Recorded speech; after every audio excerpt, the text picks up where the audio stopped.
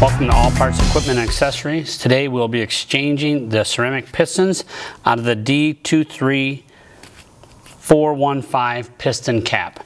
The ceramic plunger kit is a D23487-PPK and it will allow us to replace the ceramic plungers with a stainless steel plunger.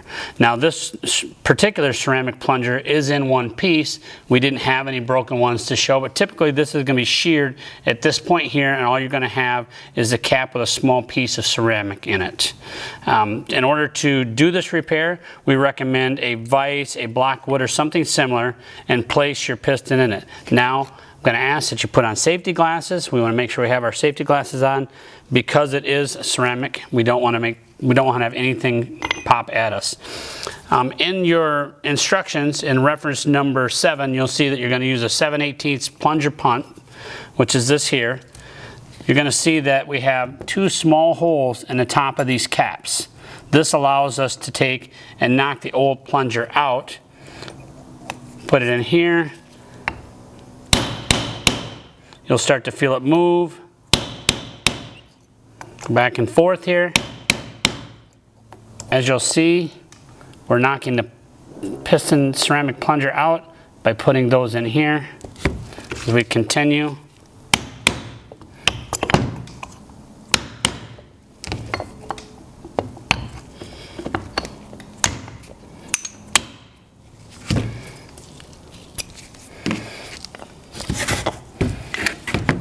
our plungers out. Now, this particular plunger being that it was whole, hit the bottom, so it took a little extra.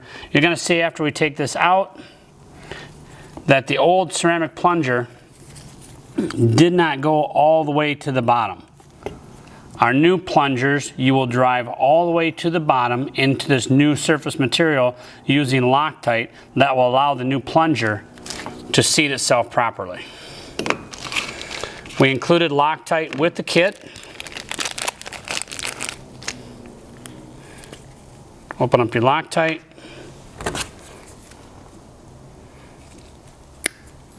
Snip the end off here. You'll see on the piston there's a groove. This is allowed Loctite to seat into the piston cap. At this time, we'll take this cap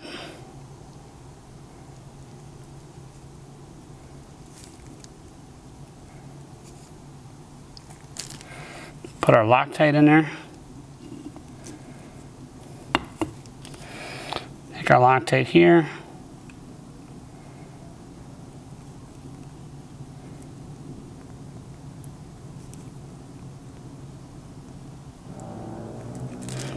on the cap. Now we're going to take this cap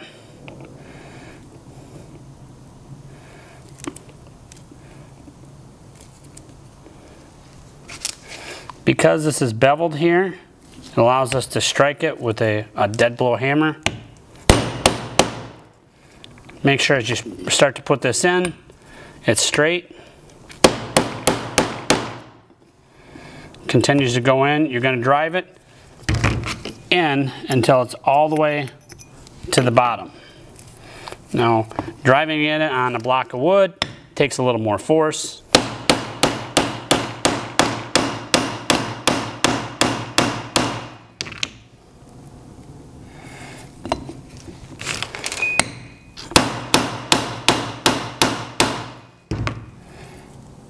We can see now we're driven all the way to the bottom. The cap is there. We'll see the Loctite there. That's fine to leave it like that. We ask that you allow these to dry for 24 hours before installing them back in the pump. Do the same exact thing to the second piston as we did the first. Make sure that we do both at the same time because the weight difference of the ceramic versus the stainless steel, they have to be repaired as a set.